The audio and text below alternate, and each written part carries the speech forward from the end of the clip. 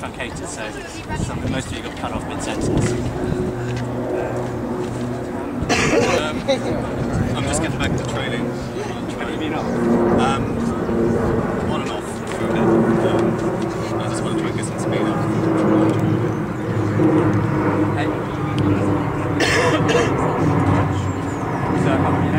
Sorry? What's your name? Urs. Urs? Of course, Urs. Um, thoughts? Thoughts about why you're here? Me? Um, just to start uh, really, I would rather do the 400 meters in the men's league. Or maybe if I see I can compete here, Okay. do 100, 200. Well, if you want afterwards or later on, we can chat about 400 um, and 400 training. But, Rog, I've never had any training, so I guess learning how to start properly. Just start, better, yeah, better technique. Okay, we are definitely going to talk about starts today because that is quite important, especially in 100 metres, because uh, uh, we'll, we'll talk about that. But some people say there are five phases of 100 metres. Any idea what they are? First phase, anyone? You're driving there somewhere. driving there somewhere. if we're breaking it down to five phases, drive is stage three. Acceleration. Stage one, Start. Kind of reaction time. Ah, Stage two, start, block clearance. Stage three, drive or acceleration. Stage four, uh, hitting max velocity and maintaining it. And stage five is basically reducing your deceleration. Because despite the fact that 100 meters seems really short, you basically 30 meters.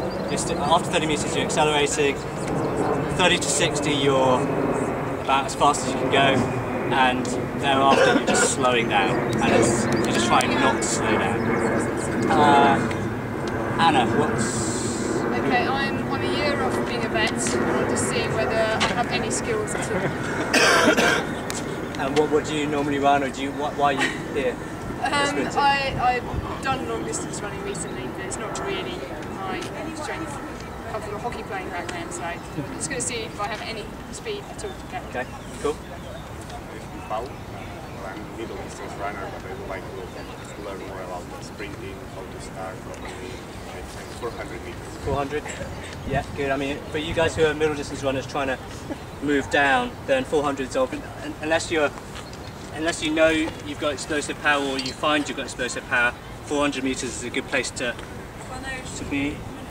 Uh, 400 or 800, because if you can run a good 400, you can probably run a good 800. Unless you're me. Uh, Alice? I'm Um, yeah, did a couple of hundreds and two hundreds last year and the year before, but never had any coaching. Like some technique tips and uh, yeah, again starts in particular. I think. Yeah. Excellent. I used to run 200 when I was at second, Yeah. about 10 years ago.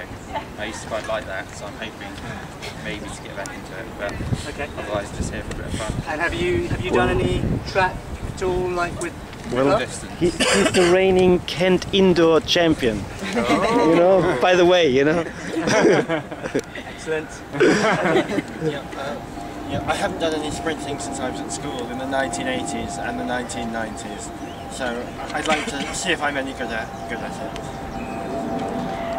Uh, my name's Gavin. Um, I've never really done any track stuff at all. I've come along once a few weeks ago to the track station, but I've never really been on the track. And I'd like to sort of uh, compete in the Serpentine track events this year, not to win, just to see how fast I can be. So I'd like to improve the track stuff. I'm David. I want to do 100 metres, 200 metres in the uh, in the vets this, this season. Normally do much longer distances, but And you've done it before, right? Is right? I did sprinting at school and rugby for many years through to university. Yeah. Um, I'm Katkin. I've done quite a lot with the vets between 100 metres and 800s and 400s um, relays, but no training. So yes, starts, and relay changes. Um, Nice to Good. see you here. To, then, to, you know, change, change, change, more challenge you need. um, okay. Um, Tolly, I um, I've signed up for the vets this year, and I haven't done any sprinting for life. Have you signed up for vets and the mixed league, or just No, vets? Just the vets. I haven't signed up for the mixed league. Here we are. Yeah. Cool. Literally. Uh, just here to prove technique.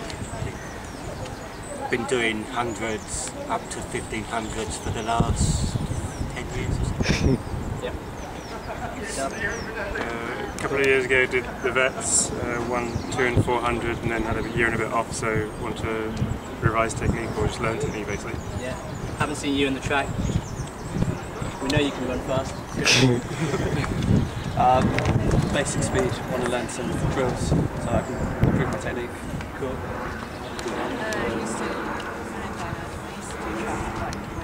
Yeah. I started, I joined the vet league too late last year, so